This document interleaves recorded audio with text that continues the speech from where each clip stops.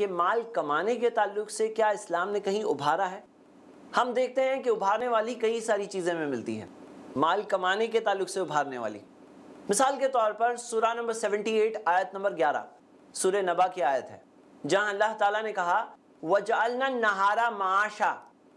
हमने दिन को माश के लिए बनाया।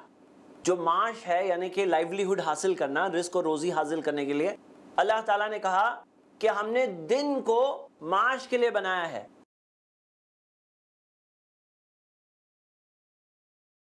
जब मैंने ये आयत कुरान की, एक हमारे भाई हैं, उन्हें सुनाया, पिछले दो दिन पहले की बात है, उनका सवाल आया कि आज तो लोग नाइट में भी काम करते हैं, रात को माश के लिए इस्तेमाल करते हैं, जो ग्लोबलाइजेशन का ज़माना है, नाइट शिफ्ट वगैरह होती है लोगों की तो रात में भी लोग काम करते हैं। अल्लाह ताला ने कहा, हमने दिन को माश के लिए बनाया और उनका सवाल है कि आज बहुत सारे लोग हैं जो अपना माश रात में हासिल करते हैं नाइट शिफ्ट करके हासिल करते हैं।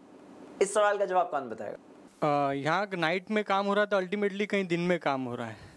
तो वो दिन की जो शिफ्ट है तो ग्लोबलाइजेशन की वजह से वो नाइट में यहाँ काम कर रहे हैं। और ऑलमोस्ट काम इसीलिए हो रहा है कि कहीं पे डे शिफ्ट चल रही है। ड्यू टू टाइम चेंजेस हो रहा है। जजाकल्ला खैर डिस्कशन में ये बहुत अच्छा बेनिफिट होता है कि जो पॉइंट्स मैंने सोचा था उसके अलावा ही कोई पॉइंट मिलता है। इन्होंने पॉइंट ये बताया कि जहाँ पर एक इंसान नाइट में काम कर रहा है तो कहीं ना कहीं डे भी है। है ना? तो वो डे से ही कनेक्शन है उस माश का। ये एक बात इन्होंने अच्छी बात बताई। जी और कौन बता सकता है? जी। ऐसा जहाँ पर एक दिन का बात आता है तो हम लोग समझते हैं जो कि चौबीस घंटा जनरली चौबीस घंटा को एक दिन में माना जाता है। भाई का सजेशन ये है दिन तो ट्वेंटी फोर आवर्स का होता है लेकिन यहाँ पर नहार जो अल्लाह ताला ने कहा वजालना नहारा माशा मतलब कि वो जो डे लाइट वाला दिन होता है ना अल्लाह ताला ने कहा कि मैंने दिन को बनाया माश के लिए। और कौन बताएगा? जजाकला खैर ट्राई कर रहे हैं ना तो ये अच्छी चीज़ है अल्हम्दुलिल्लाह और हर कोई कुछ बात जो आपको समझ में आती है आप अपने तौर पे फ्रीली कह सकते हैं। कोई मसला नहीं है। जी। जैसे मोस्टली जो नाइट शिफ्ट रहते हैं वो कॉल सेंटर में होते हैं और जो कॉल सेंटर वो ग्लोबलाइजेशन है। तो देखेंगे जैसे कि आज इंडिया में जैसे कि नाइट है तो कहीं और डे में रहेगा और जो कॉल सेंटर का जो नेटवर्क रहता है वो ऑल वर्ल्ड रहता है। तो हिसाब से। माशा इसमें गौर करने की बात क्या है? दो बातों पर गौर करें। पहली बात अगर हम देखें, आप इंटरनेट पर भी स्टडी कर सकते हैं। सिर्फ़ सर्च करें bad effects on health of night shift night shift के बैड इफ़ेक्ट्स हेल्थ पर क्या होते हैं? तो हम देखते हैं कि इतने सारी लिस्ट है बैड इफ़ेक्ट्स जो हेल्थ पर होते हैं, अगर कोई नाइट शिफ्ट कंटिन्यूसली करता है तो। जैसे हमारी बॉडी के अंदर एक क्लॉक होता है, जिसे सिरकैडियन क्लॉक कहते हैं, जो एक रिदम होती है उसकी। बॉडी का टेम्परेचर नाइट जब होती है तो बॉडी खुद अपने टेम्परेचर को कम करने लगती है। हार्ट बीट्स का रेट कम होने लगता है। और बॉडी रेडी होती है सोने के लिए। अब बॉडी जब रेडी हो रही है सोने के लिए, तब कोई सो नहीं रहा है। और जब जागने के लिए बॉडी रेडी होती है बॉडी का टेम्परेचर बढ़ता है हार्ट बीट्स रेडी हो जाती है तो तभी कोई सोने के लिए जा रहा है। तो इसके अंदर कई सारे प्रॉब्लम्स होते हैं। नंबर वन हार्ट डिजीजेज होने लगती है। नंबर टू ओबेसिटी और डिजेशन के प्रॉब्लम्स होने लगते हैं। हमारा डाइजेशन भी उसी हिसाब से सिंक्रोनाइज होता है। हम देखते हैं उसी तरह कई लोगों को स्लीपलेसनेस स्लीपिंग डिसऑर्डर्स आ जाते हैं, क्योंकि दिन में नींद नहीं हो पाती है। और कई सारे प्रॉब्लम्स होते हैं जो कई सारे हेल्थ के हजार्ड्स जो लोगों को हो रहे हैं जो कंटिन्यूस नाइट शिफ्ट करते हैं। और और एक चीज़, ये टेबल और ये कुर्सी मिसाल लेते हैं। ये कुर्सी बैठने के लिए है। ये सोने के लिए नहीं बनी है। लेकिन कोई अगर इस पर सोना भी चाहता है तो सो सकता है ना किसी ना किसी तरह से। झुका वुका मार सकता है, लेकिन ये सोने के लिए बनी नहीं है। वजालना नहारा माशा, अल्लाह ताला ने कहा, मैंने दिन को माश के लिए बनाया, रात को आराम के लिए अल्लाह ताला ने बनाया है। अब जो आराम के लिए बनाया है, अल्लाह ताला ने, वहाँ पे कोई जो करना चाहिए, वो करने की जगह कुछ और कर रहा है तो कर सकता है, लेकिन वो उस चीज़ के लिए बनी नहीं है। दिन बना है माश के लिए, नाइट बनी है आराम के लिए। तो हम देखते हैं, यहाँ पर पॉइंट हम सबका जो शुरुआत हुई पॉइंट यहाँ पे ये है कि अल्लाह सुबहान ताला ने दिन को माश के लिए बनाया। इसमें एक इंडिकेशन है कि माश के लिए निकलो बाहर। सही बुखारी की हदीस नबी सल्लल्लाहु अलैहि वसल्लम ने कहा, मैं अकला तामन कत।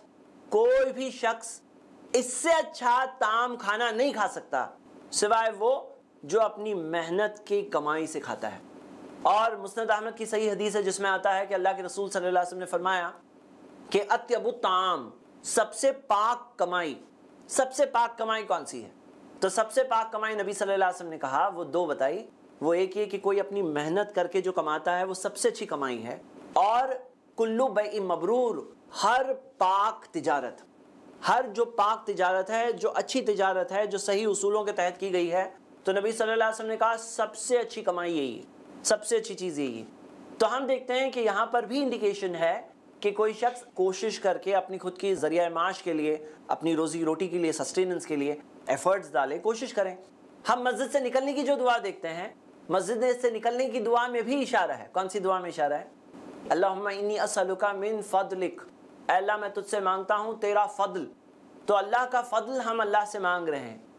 ये क्या है? ये भी एक इंडिकेशन है कि अब हम नमाज़ पढ़ने के लिए जब आए थे तो छोड़ के आए थे।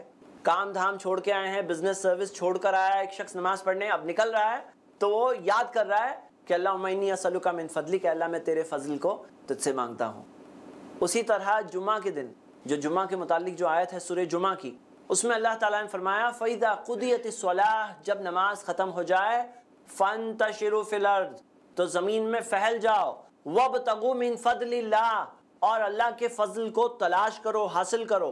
तो अल्लाह सुबहान ताला ने हमें ये सिखाया कि जब नमाज़ ख़त्म हो जाए तो निकलो, अब निकलो, बस। ऐसा नहीं कि तुम लोग निकल गए, जंगल में चले गए। ऐसा नहीं कि बस इबादत में गए तो सब कुछ छोड़ दिए, त्याग दिए, और अब तुम दुनिया की तरफ़ मुड़ के देखना नहीं चाहते। तो हम देखते हैं कि अल्लाह सुबहान ताला ने कहा जुम्मा की नमाज़ के मुतालिक जब आयत आई तो अल्लाह ताला ने जुम्मा के मुतालिक कहा, अब छोड़ करके नमाज़ के लिए जाओ, लेकिन नमाज़ खत्म हो जाए तो फन तशरू ज़मीन में फैल जाओ वब तगु मिन फजल्ला और अल्लाह के फजल को तलाश करो। इस आयत पर अमल करके कई उलमा ये बात समझते थे। वो ये कहते थे कि जुम्मा के दिन, जुम्मा की नमाज़ के बाद थोड़ी तिजारत करना मुस्तहब है रिकमेंडेड है।